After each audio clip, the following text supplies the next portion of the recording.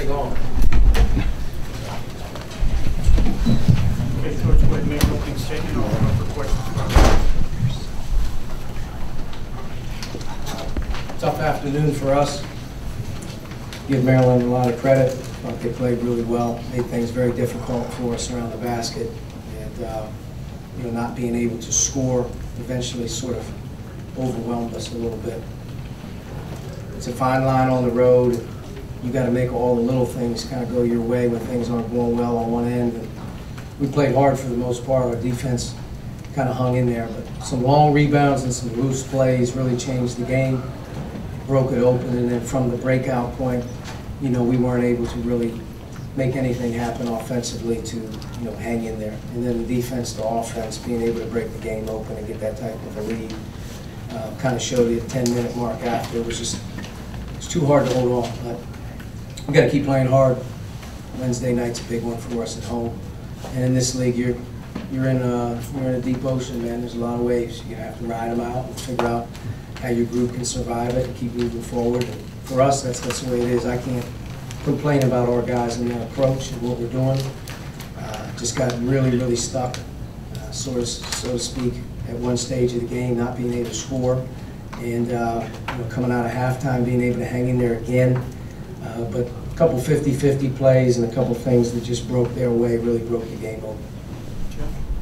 What do you, Coach, what do you feel are leading to the- these long scoring droughts you guys are The experiencing? ball's not going in the basket. Whether it's a layup, whether it's a free throw, or whether it's a wide open shot. At some point, you have to be able to put it in the basket. And we got enough guys that can do that. Certain teams got to struggle to find their way. We got to get a more quality three in the game. And our backcourt's got to be able to create more off the dribble on those threes. They got to be able to get assists. You got to, those are the ones you're going to make when you draw the defense. Not challenge twos, not 50-50 plays at the basket. It's the ones that you break the defense down and your guards are able to create, we get more threes that way. We got to go to the line more, and we got to keep going to the line and making it. And then in and around the basket in this league, moving forward from January till February, there's not going to be one easy okay? There's no calls, there's, that's not happening. So you gotta be able to finish through contact and put some down, and we didn't have that, uh, you know, for the most part of the night. I mean, we shot for the game, we shoot for the game? Thirty-six percent, shot twenty-six percent in the first half, and it was one for seven from three, but you're seven for twenty-three from two.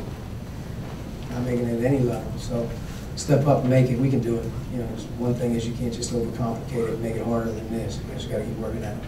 Zach? I guess to that point, is there any concern with just maybe guys, when it's not going in, getting a little bit too rushed, maybe losing a little bit of conviction in, in keeping it simple offensively?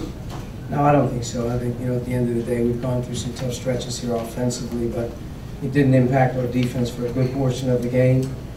Um, Our rebounding kind of caved in at one point in time when we did, actually did get some stops. You know, they probably got three or four rebounds on two possessions in the game. But uh, At some point, you have to continue to compete, you have to continue to play tough and play through it. And, You know, at the 10-minute mark, 12-minute mark, it's an 8, 10-point game, 12-point game. You're right there. Just kind of stay with it you can't let the floor sort of fall out on, on a couple plays and then let it become a problem. Teams change throughout the course of the season. Our team's going through one right now.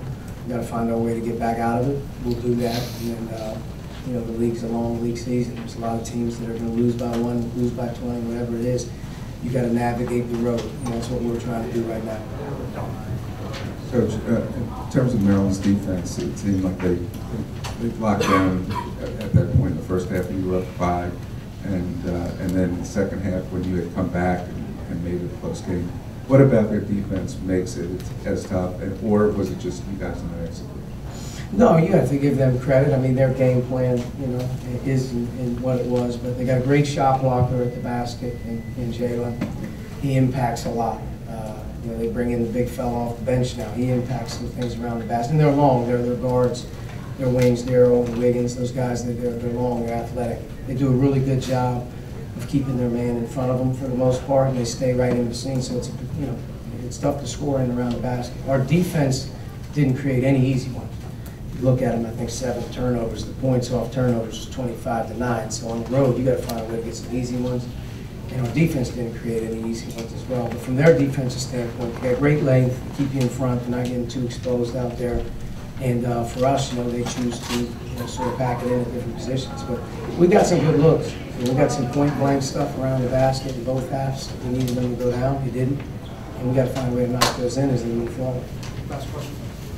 uh, ag- against Wisconsin is very similar to blowout loss. Now, now in two Big Ten road games, you've had blowout losses each, each, each time. After Wisconsin, you talk about confidence and bouncing back from that. Is it different this time, or is you going to go through some of the same kind of? You know, uh, two different scenarios. Obviously, losing games is losing games, but there are certain ways you do it. And uh, I don't think you watch this game at all and say our defense allowed as many easy baskets or easy shots. I think we were in the game for the most part with our defense. Um, Offensively, you know, I think up until maybe the last four minutes, which really doesn't count offensively, we were about one for 18, 19 from three. I don't know what it was one for 17 from three now on the road. I mean, you're- not gonna, you're not gonna just hold teams down and shut them down for, for periods of time. You've gotta be able to make some of those open ones and make some of the tough ones. I mean, that's what teams do to overcome. You gotta make some shots. And, uh, you know, Maryland's field goal percentage wasn't very good today when you really think about playing at home at 38% and 25 from three. With that type of lead, you know how bad you have to be on offense? you don't have to score for like ten straight minutes. I mean, you, thirty-eight percent and twenty-five percent, if you had told me coming in the game, Maryland would shoot at home, this percentage, you'd say, eh, probably got a chance to hang in there a little bit today. And we did for a while, and then it sort of caved in, so we'll go from there. There's a lot of room for this team to continue to grow up and figure things out. Uh, I do think that we'll be a more confident shooting team on Wednesday. Thanks, Coach. Thank you.